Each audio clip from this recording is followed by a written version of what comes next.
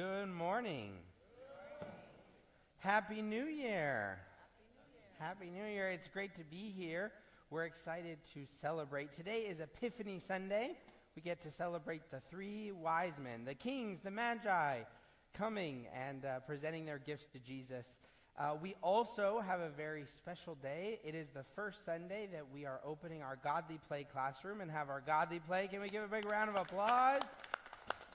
There's been a lot of people who have helped for months uh, getting that classroom ready, getting a whole area just for our children. In fact, our new room we're calling our Children's Sanctuary, a place of worship, of teaching, of learning, where they get to be with God, they get to play with God. And so that's what we're doing, godly play. So today that's happening. Um, and over the next few weeks, we'll get used to that rhythm as parents come and as they come over there and, and those kinds of things. Uh, we also will continue to have our nursery right here uh, next to us with our young little ones. Uh, so we can still see and hear them around uh, right through there. Uh, and so we are grateful that we're here. We're excited for this new year, for new opportunities, and for uh, a new way of, of worshiping together with our children. Um, so let us prepare our hearts. Let us gather ourselves. Let us take a big, deep breath. I'm going to ask Celia DeMagno to come forward, and she is going to help call us into worship. It's the beginning of our worship. So please stand as you are able.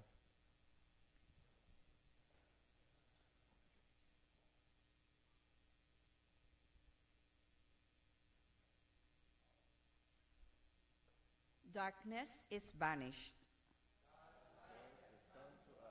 The brightness of the star leads us.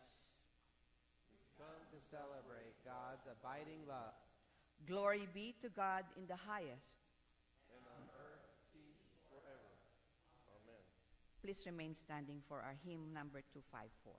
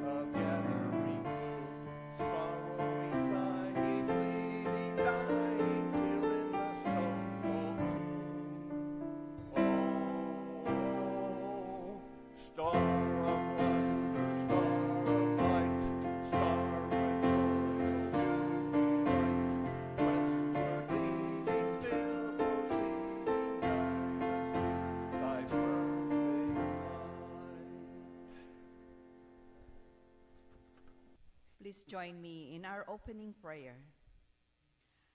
Loving God, who breaks through the darkness of doubt and despair, be with us this day as we hear of the visit of the wise ones who risked everything to follow a star. Let us open our hearts and be willing to risk receiving the gift of gracious love that you have to offer us in the form of our Savior, Jesus Christ. Amen. Please uh, be seated.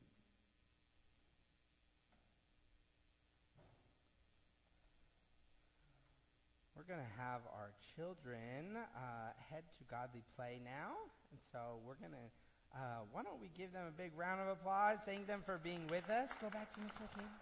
She's going to, to our nursery. We are excited for that. We were trying to wait just a few minutes into service so that we could catch some families this today. Um, now we come to a time of our worship, of opening of our prayer together a time of lifting up prayers for one another, with one another. Do we have prayer requests that we would like to lift up, either joys or concerns, things that are on our heart? I'm going to use yellow. Any prayers you'd like to lift up? Yes, I'll start in the back. This is good. I'll start in the very back. Yes. My son just recently moved uh, to Colorado and he's by himself. I talked to him yesterday. He's very lonely, but he's doing good, and just prayers for him.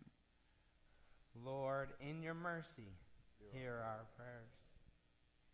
Uh, for my for my niece Heather, uh, she has so much going on, taking care of Eileen, taking care of her sister's two kids, taking care of her father, that God will give her strength and give her some kind of guidance so she's doing too much at one time.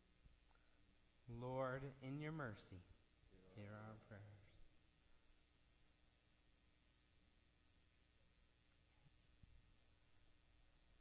Thanksgiving uh, for a safe vacation with my family. We're back.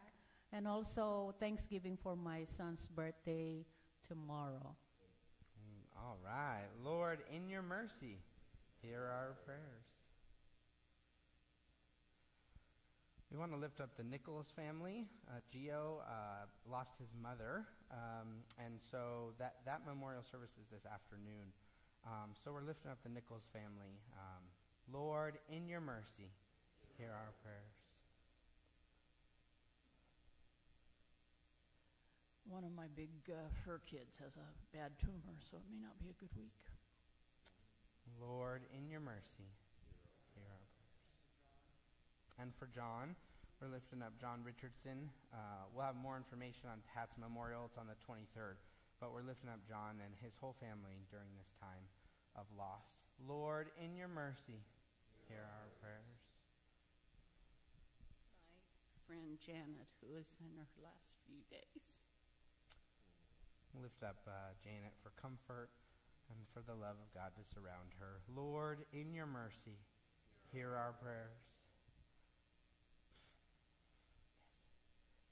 Traveling mercies for my three daughters who are uh, from vacation and then going home today. Thank you. All right. Lord, in your mercy, hear our prayers.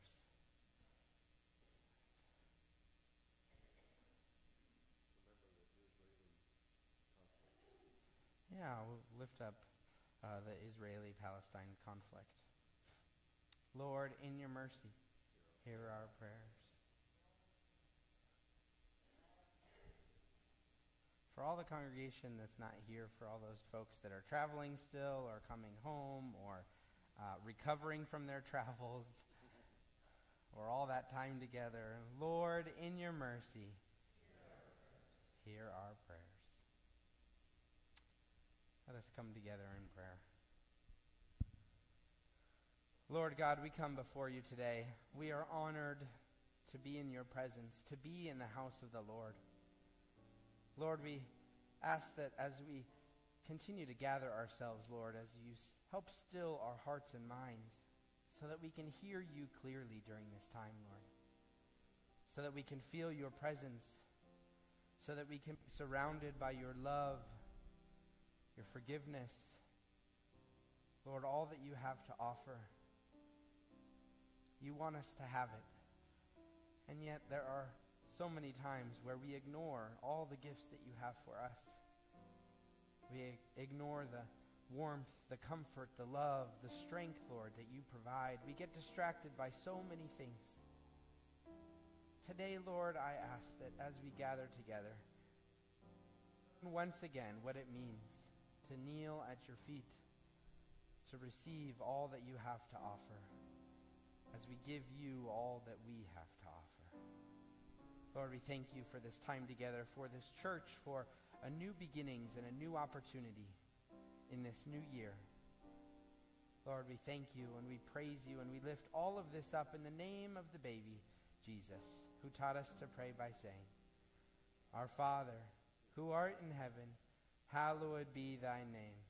Thy kingdom come, thy will be done, on earth as it is in heaven. Give us this day our daily bread, and forgive us our trespasses, as we forgive those who trespass against us. And lead us not into temptation, but deliver us from evil. For thine is the kingdom, and the power, and the glory forever. Amen. Time for praise. And Bert's going to help us out today because he knows our songs. and this first song is very simple. Can just echo me. Everybody ought to know. You say everybody ought to know. Everybody ought to know. Everybody ought to know. Everybody ought to know who Jesus is. That's all the words until we get to the chorus.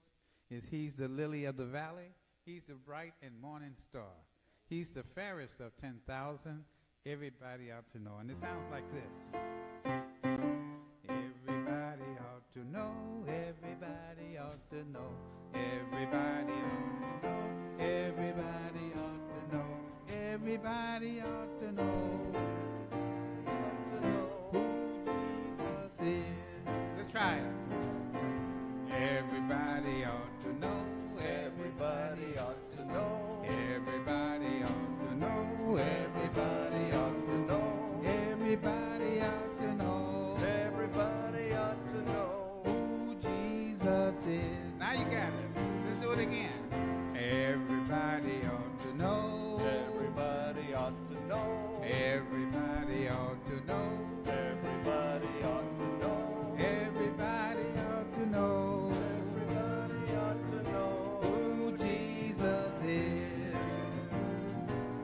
the lily of the valley. He's the lily of the valley. He's the bright and morning star. He's the bright and morning star. He's the fairest of 10,000. He's the fairest of 10,000. Everybody ought to know. Everybody ought to know. Let's do that again. He's the lily of the valley. He's the lily of the valley. He's the bright and morning star. He's the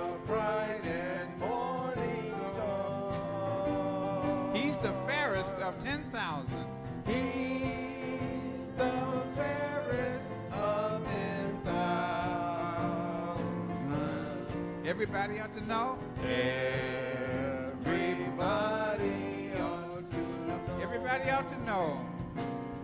Everybody ought to know. Everybody ought to know. Everybody ought to know. Everybody ought to know. Everybody ought to know. Everybody ought to know. who Jesus is. One more time. Everybody ought to know.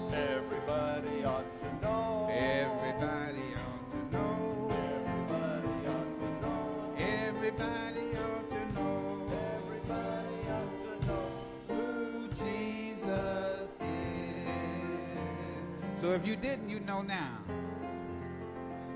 Amen. This is all right. This is first Sunday, so I thought it would be good to pick He is Lord. He is Lord. He has risen from the dead because He is Lord.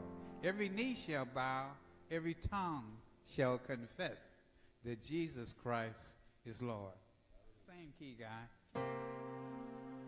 He is Lord. Thing. He is Lord. He has risen from the dead. He has risen from the dead, for he is Lord. For he is Lord. Every knee shall bow. Every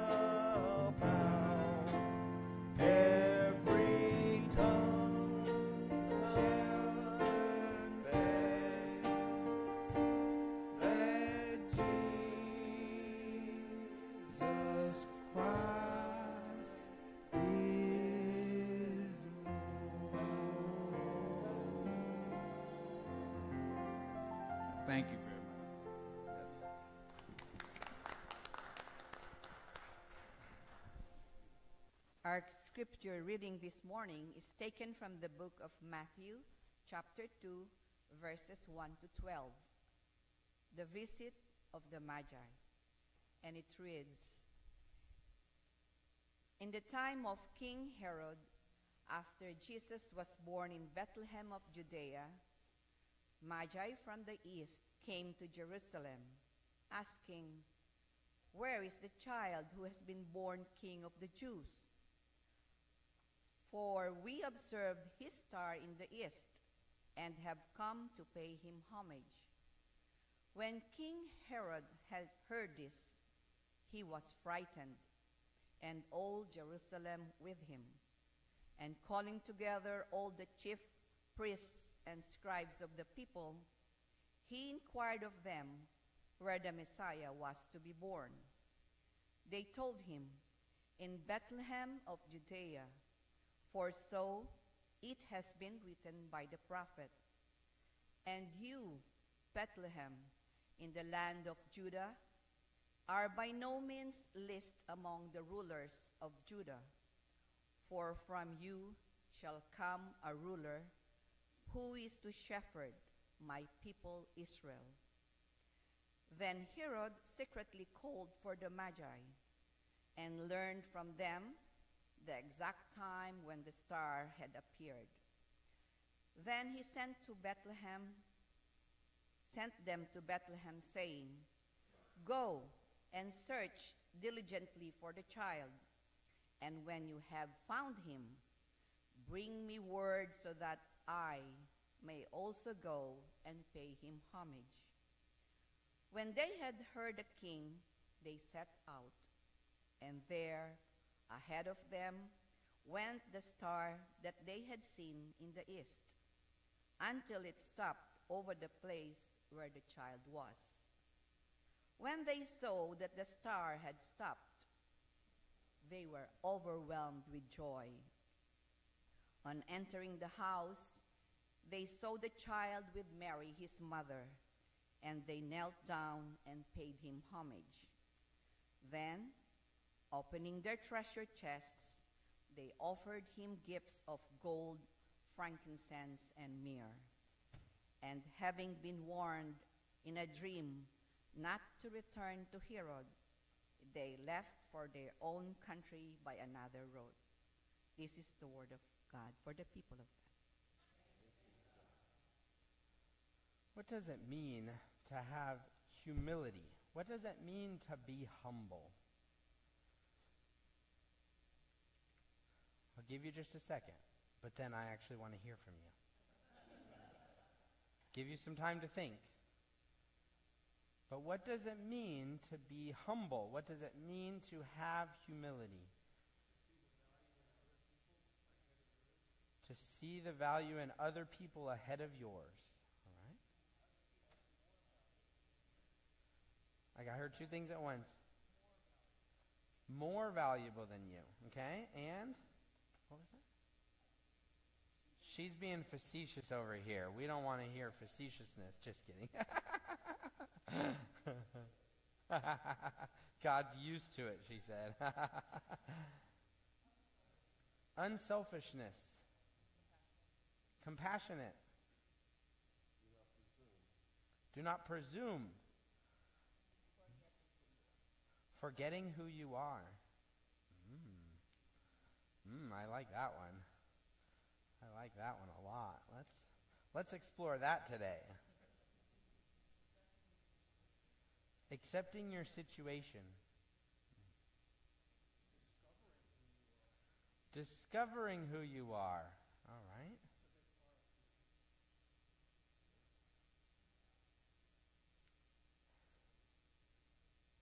Have you ever thought about? Uh, uh, I've heard. Well, let me say this. I've heard a lot of, of, of rules that happen, like when you meet the Queen of England. Have you ever heard the stories of people going to meet the Queen? And all of the rules, have you ever heard about all of the rules that they're trying to remember all at once? It's like, don't, don't, you know, stand this way, stand this way, don't touch her, and look at her this way, and talk this way, and make sure you say this, and make sure you do that. There's like a list of rules in meeting the queen. Have you ever thought what happens when a queen meets another queen?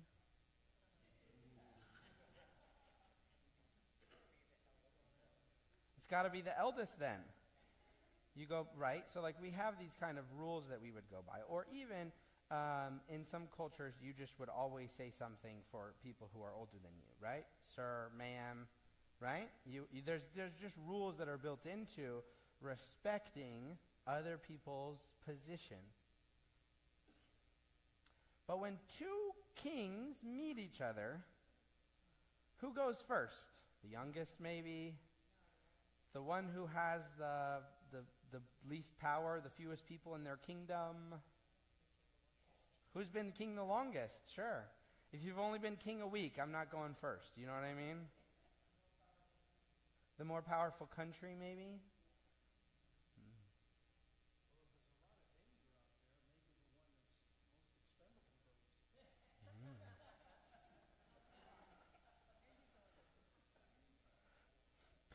Like the, the taste tester to make sure it's not poisonous, right? You got the one. Okay. well, we've got three in our story today. We've got three magi. Anybody know what the word magi means? I don't either, right? It's interesting of knowledge, of knowledge, right? So what, what's happened is that we have actually translated to be wise men, right? That's the best we can do.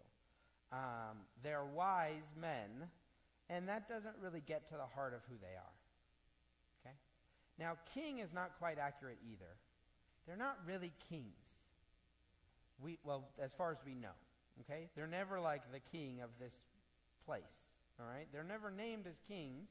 So then we've got this word magi, and then we've kind of translated it to be the wise ones, right? Wise men, wise men that came from afar. They came from the east. They traveled west. They saw a star, right? This is who we have our story today. It's Epiphany, the day of these people coming. Now, how many were there? Three. Three because they held three gifts. The reason that we have three in our story is because they had three gifts. Now, this, we have our three wise men here heading towards a manger. Now, what's also interesting is that um, we have two different birth stories. We have one in Matthew where there are kings involved, and Jesus is recognized as a king, and the king of Jerusalem is afraid, and the king of Jerusalem tries to deal with this new king. And then we have another story where we have a manger and we have these people who are totally ignored by everybody, except for shepherds in a field and the animals who are in the barn, most likely. And now we put these two together in our, in our Christmas story, in our nativity scene, right? We've got our king story. Jesus is our king in Matthew. And we've got nobody paying attention to Jesus. In fact, he can't even get a room in the inn. And so he's going to be born in a manger. He's going to literally be born in a food trough, in a barn where there are animals to keep him company. And the only people who come to visit are shepherds the lowest of the low, the street sweepers of society at the time. These two stories that we put together, they're the two stories we have. So that makes sense, right? There's nothing wrong with it. But today, when we're talking about Matthew, we're just talking about the king side. We are just talking about these wise people, these wise men, these kings, these people of high station who come and travel from really far away, and they come to visit Mary, and they come to visit baby Jesus, and they recognize him as king. That is the crux of the story. Now, whether we know how to translate that word well, whether we know exactly what magi means, is actually not very important. But what we do see in this story is people who have very high station, that they can come into Jerusalem and they can have an audience with King Herod. And not only that, but that King Herod would listen to them, that King Herod would hear them, that this king who is afraid of other kings, clearly, who doesn't like other authority or power being around him, listens to them. Okay? So that's what we know. We know that they are very high, powerful people wherever they come from, right? That they, they're coming from far away. They are very powerful. And maybe I wonder if they're so powerful because they had just a huge traveling party. Maybe their traveling party was 150 people with camels and with, right, with wagons and with they clearly had treasure chests with them. They were able to probably trade wherever they went, buy whatever they needed, get whatever they had. They came from far away, a long, hard journey. The farther you travel, the more resources you have to have. So these wealthy, high up people come to Jerusalem. They meet King Herod. They head to Bethlehem, right? And they head and they meet baby, Jesus, and they meet Mary. And what do they do?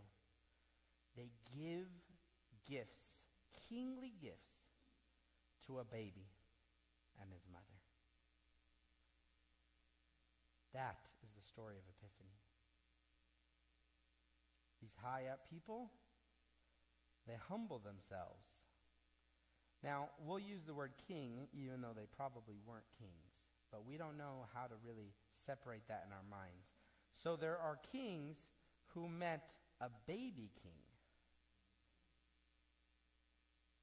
without anybody else around, probably. A baby king who is about to have to run for his life with his family. He's going to have to uh, go away. He's going to have to travel and be an immigrant in another land for a while. Because King Herod's coming for him.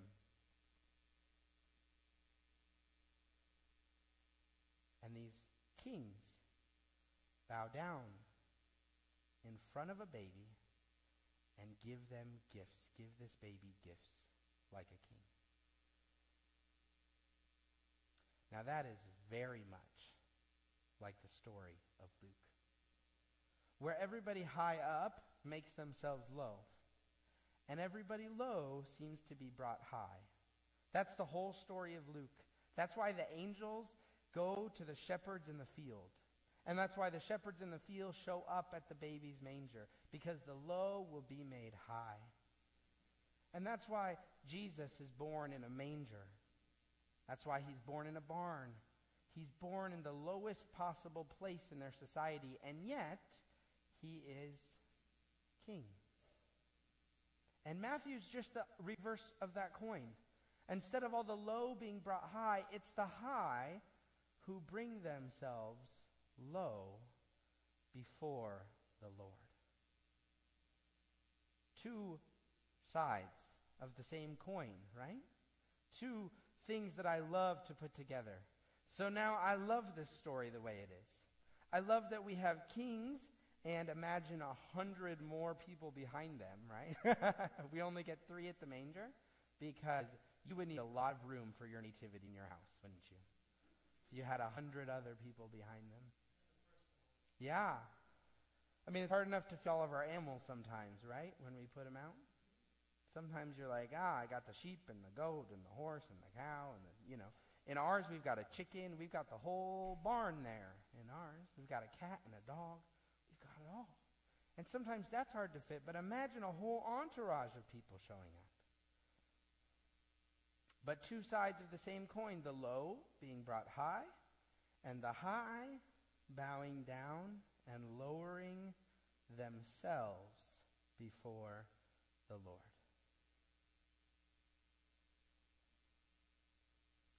Humility, humble.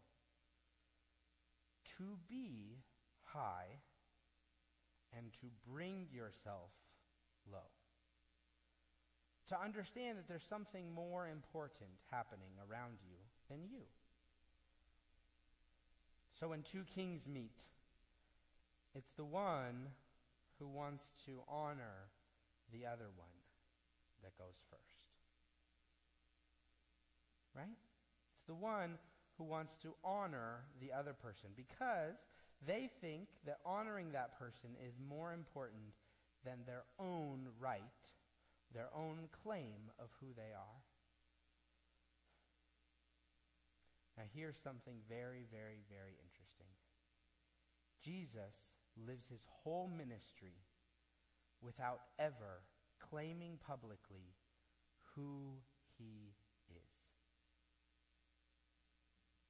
When people recognize him as the Messiah, he says to them, Don't tell anybody. Don't tell a soul. When he walks into a room of powerful people, he never claims authority.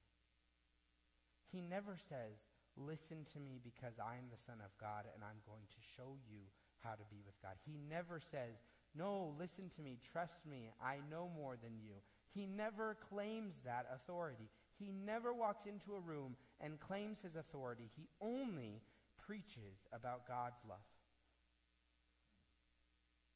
and calls out those who won't preach about God's love. I had a seminary professor who said that Jesus walks with the weak word. Sat there stewing all class like, what are you talking about? You can't say that. There's no weak word. Jesus isn't weak. The weakness, you can't say that he has a weak word to preach. It's the word of God. You can't say weak word. You can't say that Jesus was weak in those spaces.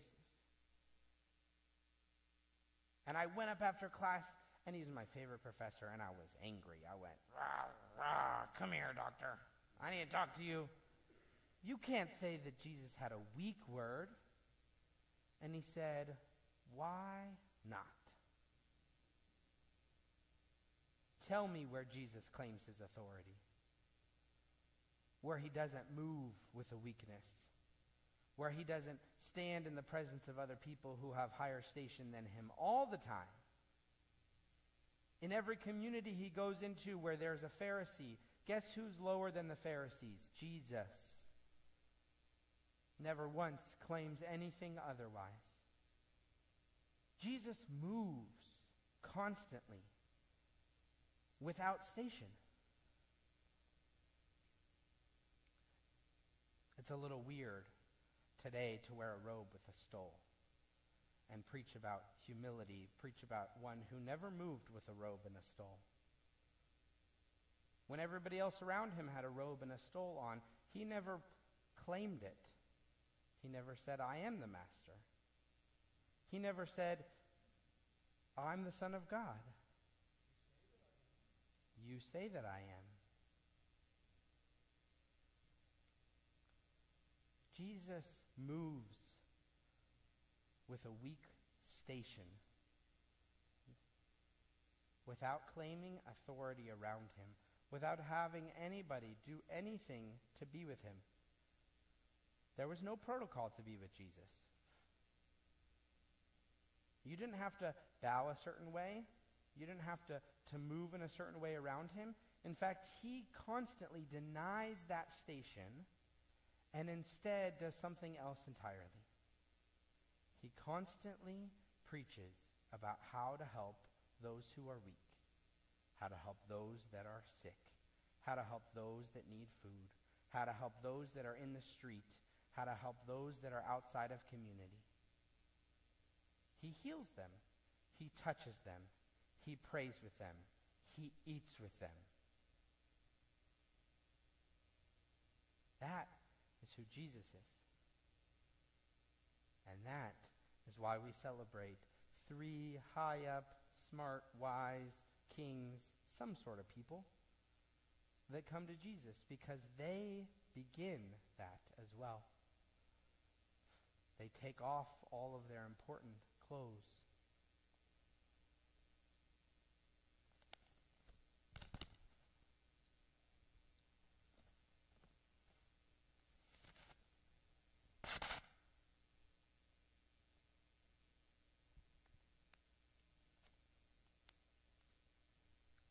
They bow down before Jesus.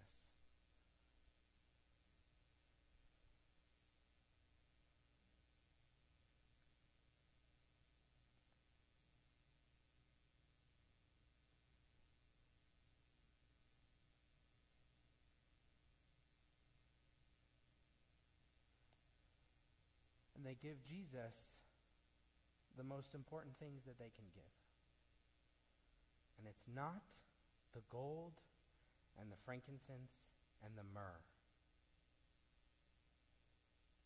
It's not. It's not those things that Jesus is after. Now, as a baby, they don't know that.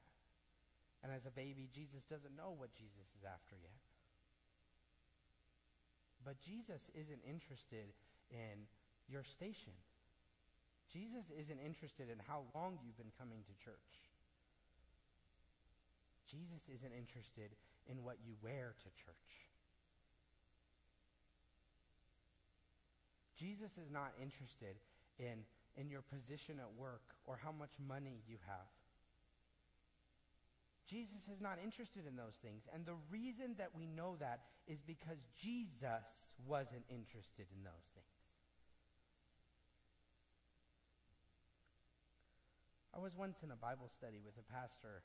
I was my first year in ministry. And there was a pastor there who said, How, why would anybody listen to you here? You're a first year pastor. I have been a pastor for 40 years.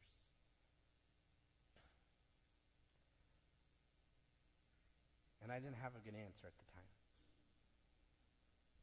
I was flustered and angry and sad and wanted to defend myself that I had done things like got a master's degree and that I had gone to Duke and that I had I had just done all of these important things in my life. I had just tried really, really hard to do these things. And I thought on it and I thought on it and I thought on it and I thought on it. And what I should have said is, it doesn't matter. It only matters if we preach love.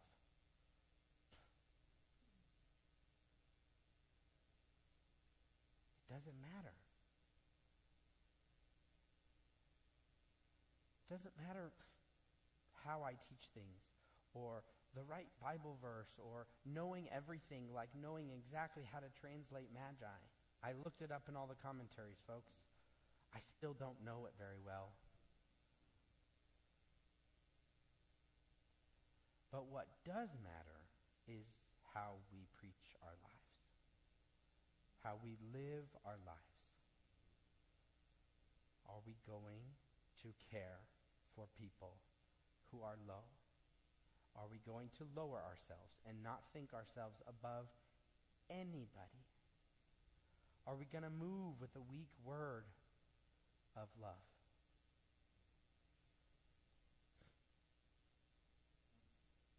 Are we going to move with a weak station but still have love? Are the wise men wise at all? They don't show any sort of classical wisdom. All they show is that they are willing to honor the Lord above all else.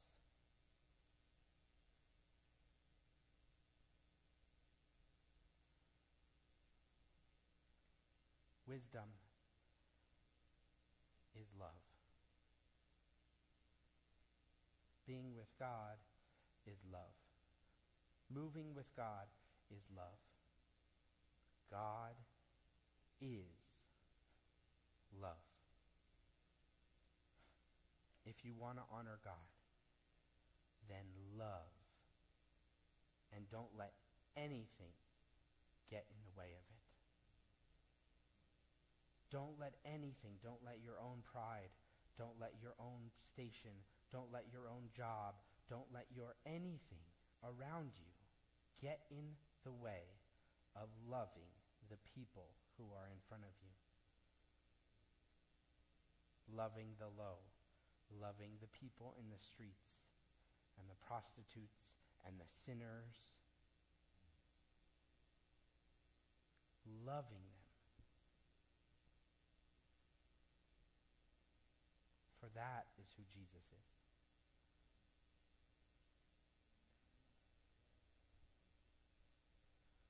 Jesus is the kind of person who sits at a table with his best friends right before he's going to die, and he offers them something special. He says, I'm gonna give you everything. I offer my entire body to you. My body, my blood, I'm going to die on a cross. I'm going to die in just a few days for you. And nothing is going to stop me from doing that. Judas, you're here at the table with me. I'm going to die for you too. Disciples who are arguing about where they should sit and how important they should be in the kingdom of God. That's happening at this meal in our scriptures. Who's going to sit on Jesus' right and who's going to sit on Jesus' left? And instead, he gets down on the floor and he washes their feet at this meal that Jesus. He says, This is my body. This is my blood. We're going to be doing our liturgy on page 9 and 10. Or sorry, starting on page 9 in your hymnals in front of you, if you would like to pull that out. We're starting at the Great Thanksgiving.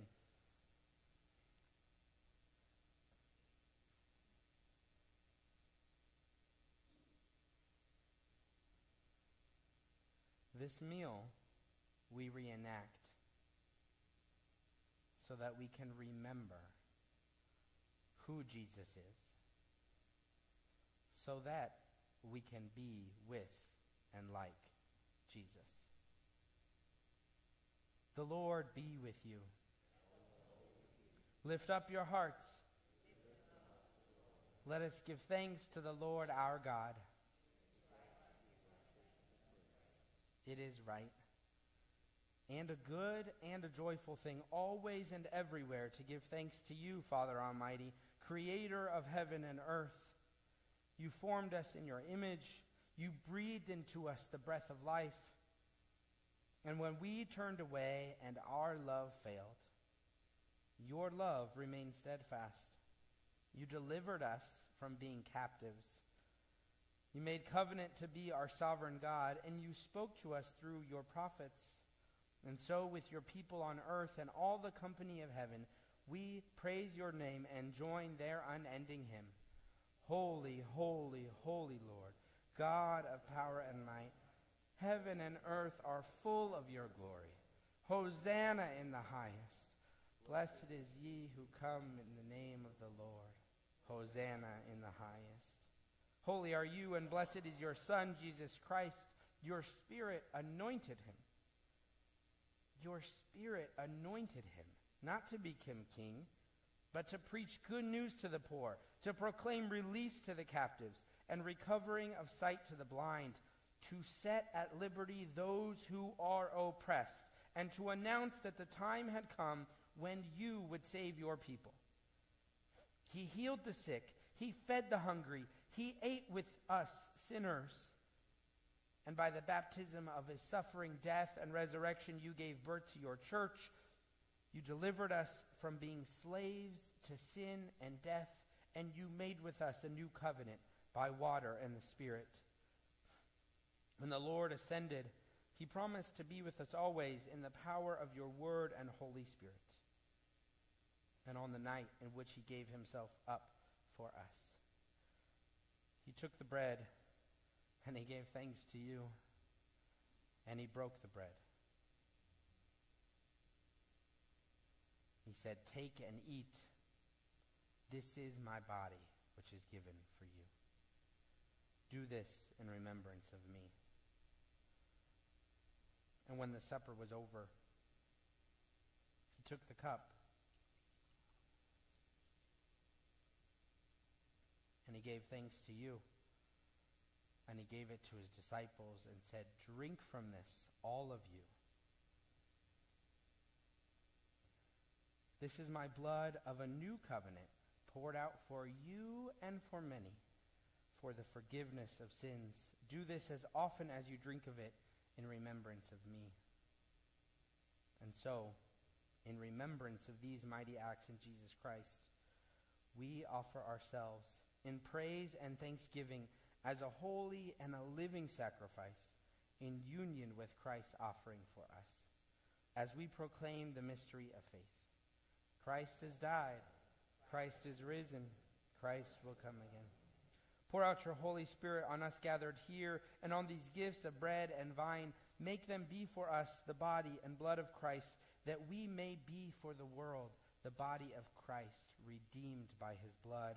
By your Spirit, make us one with Christ, one with each other, and one in ministry to all the world, until Christ comes in final victory and we feast at his heavenly banquet through your Son, Jesus Christ, with your Holy Spirit, in your holy church, all honor and glory is yours, Almighty Father, now and forever.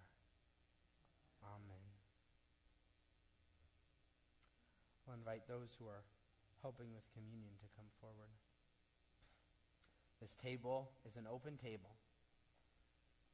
You don't have to be a certain status in the church to receive this gift of grace. It doesn't matter where you come from, it doesn't matter your background. We strongly believe as a church that everybody is welcome to the table because this table was made for everybody. It was a gift to everyone. So if you would like to come and be a part of this, if you would like to remember Christ's giving and his love, this table is for you. Just a moment, I will have you come as you feel called. On one side over here, we are going to take this by intinction, where you will have a either rip off a piece of bread, um, and then you will dip it into the cup. It is grape juice, so that we uh, honor those who struggle with alcoholism. And um, take a piece of bread and you dip it in. You can take communion that way. Or on this side, you can have individual pieces and individual cups. Either way, still a gift given to you by our Lord.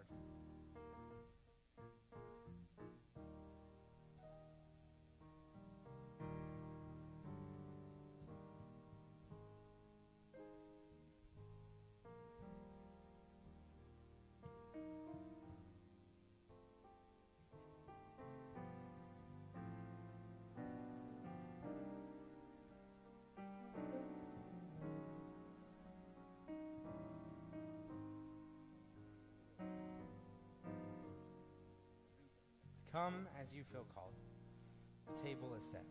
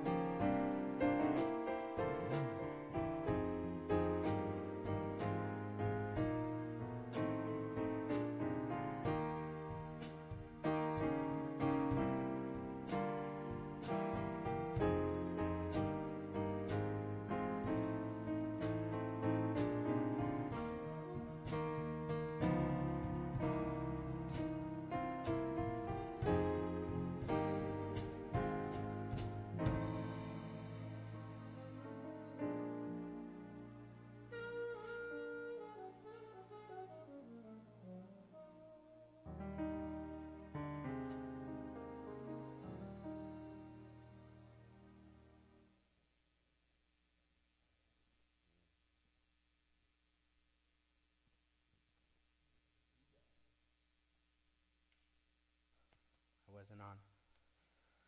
Let us close in prayer. Lord God, we honor you today. Lord, help us humble ourselves to recognize that your love is all that matters. Your love is life, and that is the gift which you give. We thank you and we praise you in the name of Jesus. And all God's people said, Amen.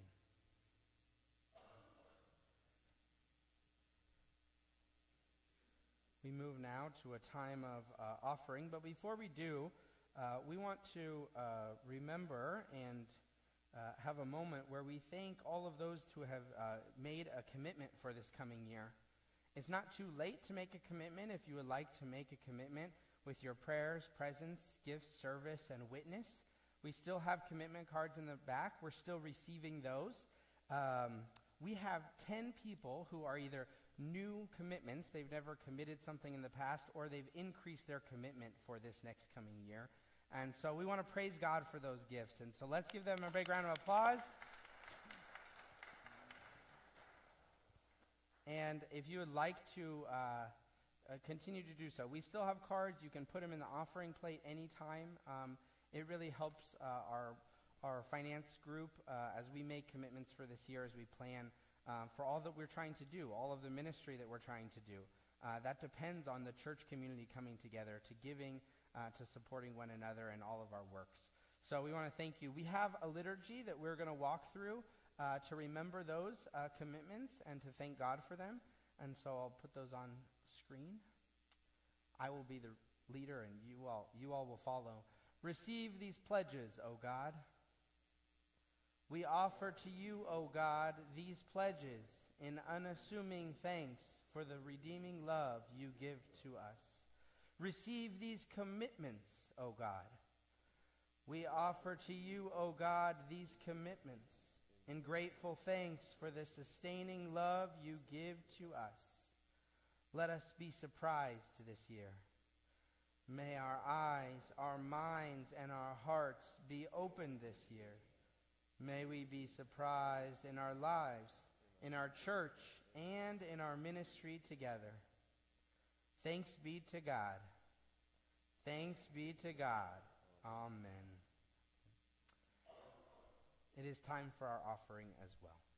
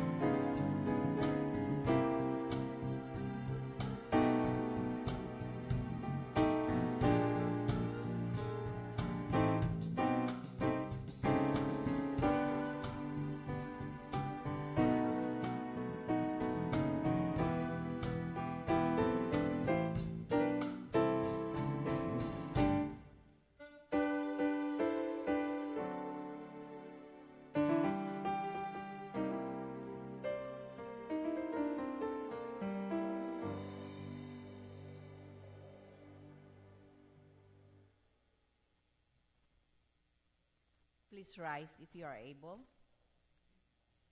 And now let us sing the doxology of thanks.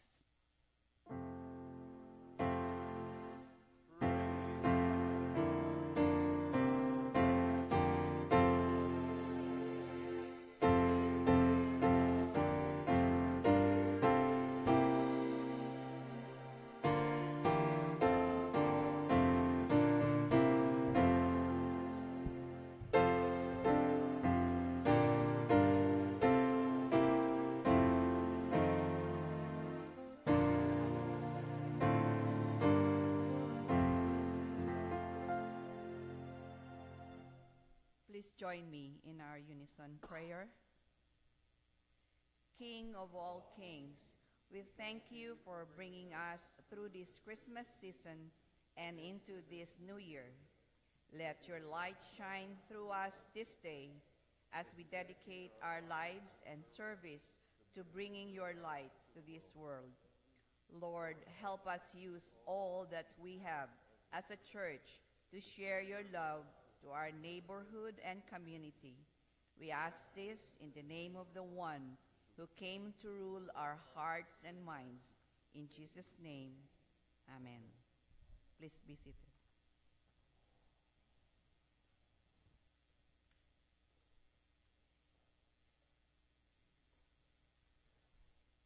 We have a lot of things upcoming. You would think after the new year things would be calm and still, but not for long. That was it. I hope you enjoyed your two weeks, right? We've got a lot going on. Um, we have a uh, upcoming events, and then I'll walk through this week. But today, uh, we will not have a Filipino small group today because of the memorial for the Nichols family. A lot of people are going to that. Uh, that's this afternoon. Also, uh, next Sunday, January 14th, after worship at 10:45 till about 2 o'clock, uh, we're going to be having a training. We would ask all of our leaders to be there, but we would ask everybody to come. Um, we're going to be focusing on five uh, habits as a, of a healthy church, basically. Five things that we can do um, to welcome people in our neighborhood, to really be present for uh, our community, and to hopefully uh, welcome those that come. Um, so that's next Sunday, January 14th, from 10:45 to 2 o'clock. We also have a few big upcoming things. We've got a small group study that will begin on sa- Sunday, January 28th. This is uh, it's going to be after worship. We're going to do something like 10:45 to noon. Um, and the, the book we're going to be studying is a shepherd's look at Psalm 23. And that will take us uh, through some of our Sunday, Sundays of Lent as we head into uh, Easter. Um, we have an early Easter this year. It's M- March 31st. Uh, and that means that our Ash Wednesday and our Lent season starts on Valentine's Day. So we're going to be kind of jumping into that. We hope that you'll join us on Valentine's Day for that. Um, we also have our, we've got a winter camp. So if you know children or youth, or uh, basically it's second grade all the way through high school, um, we're, Carrie and I are going to be up there. I'm going to be helping lead, and so is she. Um, and we're so excited to take. We have 10 scholarships from our church. That's a huge number. Let's give a big round of applause. That's from people giving in the past towards scholarship because they know how important camp is to young people. So we're very excited. That's something that we already had. We already had the ability to send 10 people, um, and we're so excited to hopefully send 10 um, to this winter camp. That's in February, uh, the middle of February. And um, so if you have questions about that, please see me. If you have children or grandchildren, uh, young people that you know that may be interested in going, I would love to share more. Uh, that's just at Wrightwood, so it's pretty close by, and we're excited to go up there and to celebrate and to worship God. So that's happening in February. We also, um, I have a few more announcements. January 23rd is a Tuesday. That is going to be Pat's memorial service. We're going to be here at 10 a.m. Um, with some fellowship and some food to follow. Um, I believe Kim is going to be helping organize some of that stuff. And so if you would like to help bring a side, a dessert, or some drinks, uh, please see Kim, and she will be helping coordinate that time of fellowship after the memorial service. Again, that's January 23rd. It's a Tuesday at 10 a.m. right here in the sanctuary. Uh, we'll have more that goes out this week on it with the dates and all of that input. Um, and then lastly, we are finishing our Christmas season. Yesterday was Epiphany officially, and today we celebrated it. So we will be having people stick around uh, here to help uh, undecorate or decorate for a different kind of season as we head out of Christmas. So if you are able uh, and can stick around and can help us uh, undecorate some of the things, uh, that would be greatly appreciated. Um, this week we've got Covenant Group tomorrow night on Zoom at 7:30. What's in your hymnal on Zoom on Tuesday at 7 o'clock. Thursday we've got our Power Hour. We had, I think, a record number this past uh, week at our downtown campus. We had standing room only, There was maybe 60 people that we, 60 families that we fed at least. There were more people than that in the room. Um, and so it was a great time of singing, of fellowship, um, and of uh, helping our community. We'll hope that you would consider helping us at 10 a.m. Thursday uh, here. That also happens at our West Campus uh, for our Spanish speakers. Sunday, next Sunday, we've got worship here at 9 a.m. We will continue to do our godly play uh, each and every week until summer. Um, and so if you have grandkids, we're so excited. This is a great program. Please invite them. Please invite children and youth to this. Um, they are really going to enjoy it, and we're excited to have it each and every week. So that's next Sunday. We've got our worship service at West Campus at 11 o'clock and our leadership training next Sunday at 1045. We will provide food uh, and drink for that, okay? So you don't have to worry about trying to get food here next Sunday for that leadership training. Um, I believe I got all the announcements. That is huge. All right. Would you please stand as you are able? We're going to sing a new song, something that's not in your hymnal. Uh, it's called I Saw Three Ships. Um, and Bert is going to lead us. For those who know the tune, once you hear it, what we'll do, I'll sing the first verse. All right? If you know it, just join me in. And then we'll do it one more time to make sure everybody's got with it. And then we're going to do four different verses. All right? So let's start this out. Yes.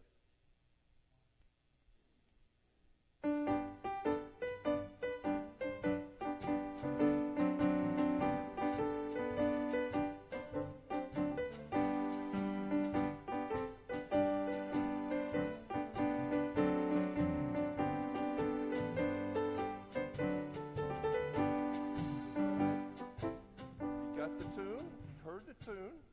Now Here's how it goes.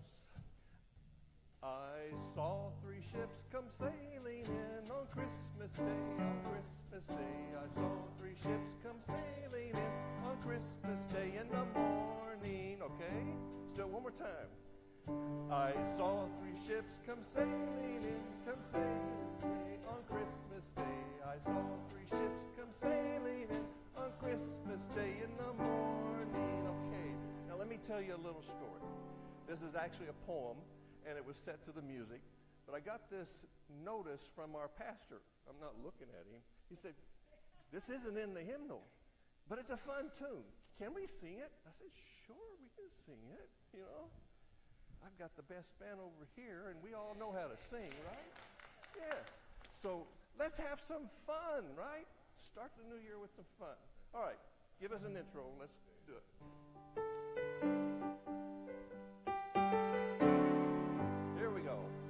I saw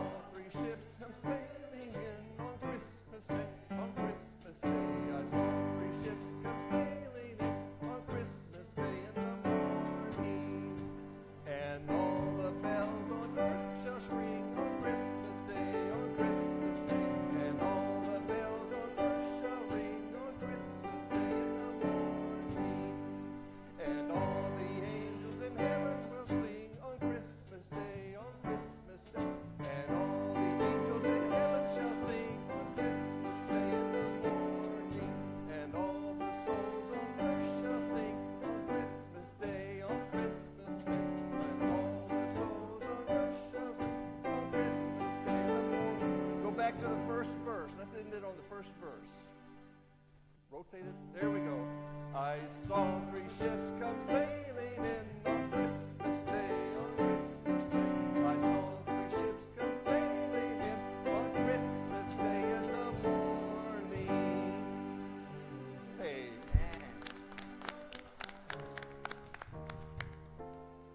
And those three ships, those three wise men, they gave everything to God.